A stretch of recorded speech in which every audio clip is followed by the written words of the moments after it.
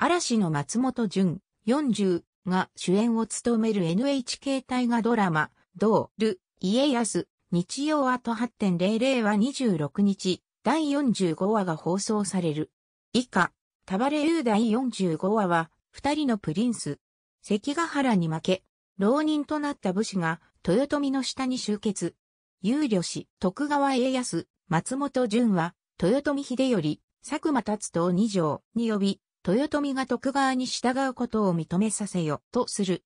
しかし、初めて世間に姿を見せた秀頼、麗しさに人々は熱狂。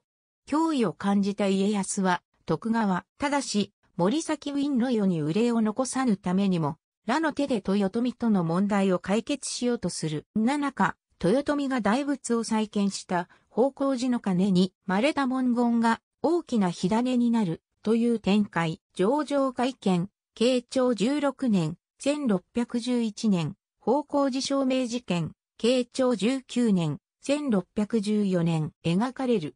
次回予告。同郷の今川氏真、溝端淳平、再登場。家康と抱擁し、お主に助けられた命も、ることを忘れるな。